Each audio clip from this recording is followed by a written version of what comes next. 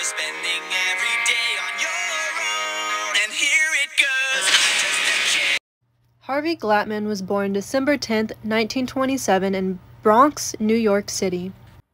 His parents, Albert Glatman, Harvey's father, worked as a milliner and had a small shop in Bronx and later in Colorado. Ophelia, who was Harvey's mother, was the first to notice her son's weird behaviors by his thinness, antisocialness, and how he was not interested in activities other kids enjoyed doing. As a child, Harvey had terrible mood swings and revealed a violent streak. When he was 11 years old, his parents discovered that he often indulged in sadistic activity called autoerotic asphyxia. Harvey was not known to have a harsh and dysfunctional family life other than his father being a strict man. Soon his parents had to keep him under house arrest, but according to the neighbors, he was just a shy and introverted child. In 1939, Harvey began middle school. He was an amateur burglar and sex offender as a teenager, breaking into women's apartments so he could tie them up, molest them, and take pictures as souvenirs. A few more years passed, but Harvey's issues were not resolved. He laughed at weird moments and his attention span was poor. In 1942, Harvey begins high school. As he grew into a teenager, things turned worse as he was often subjected to bullying in school. On May 18, 1945, at age 17, police caught Harvey in the act of breaking into an apartment of Elma Hammam through a window. In his pockets, they found a length of rope and a 25 caliber pistol. On June 18, 1945, age 17, Harvey abducted Noreen Laurel from her neighborhood, and after binding her, he drove her out of town to Sunshine Canyon. He touched her, but no rape. He then returned her home. She went to the police, where she looked at a series of mugshots and identified him. After high school, Harvey did not attend college. In August 1945, when Harvey was 17, Dr. Hilton diagnosed Harvey as schizophrenic, or, at the time, split personality.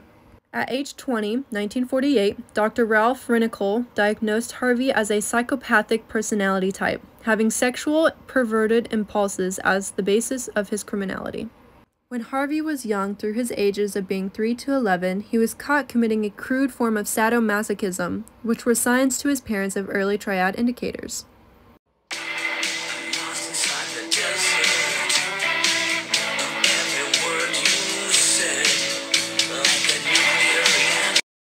Harvey committed three killings during his time active. The three killed were Judy Dole, Shirley Bridgeford, and Ruth Mercado.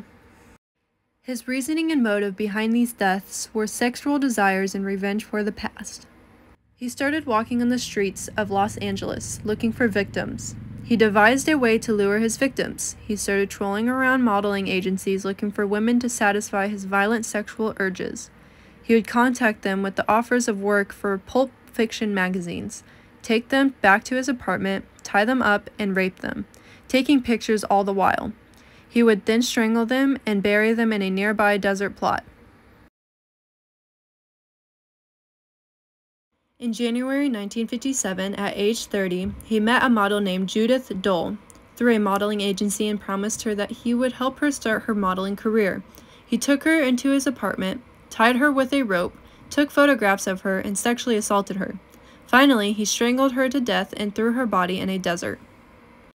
In March 1958, at age 31, he met his second victim, Shirley Ann Bridgeford, through the Patty Sullivan Lonely Hearts Club. He met her through George Williams and took her on a date.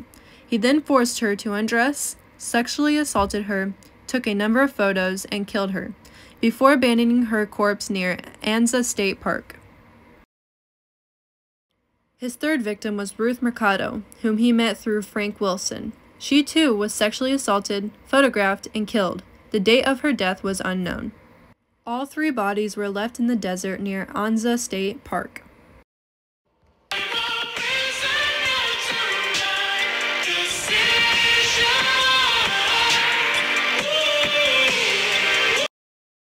In Orange County, California, in October 1958, Harvey Glatman was arrested while kidnapping a young model, Lorraine Vigil. Lorraine, a first time model, agreed to pose for him at his studio. He claimed that Lorraine was getting on his nerves, so he tried to tie her up, but she fought. A patrolman spotted him during the act and immediately arrested him.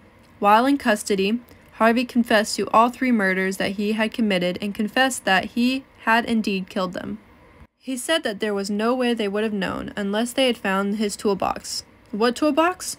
Harvey further explained that there was a toolbox with pictures of the dead bodies. December 16, 1958, Glatman was sentenced to death for the murders of Bridgeford, Mercado, and Weigel.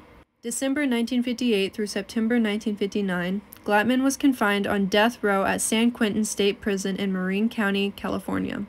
The next phase was sentencing either death or imprisonment. The tape confession was played. Judge Lowe imposed the death penalty on Glatman. September 18, 1959, Harvey Glatman was executed at San Quentin State Prison in Marin County, California, by inhaling cyanide and died within 12 minutes.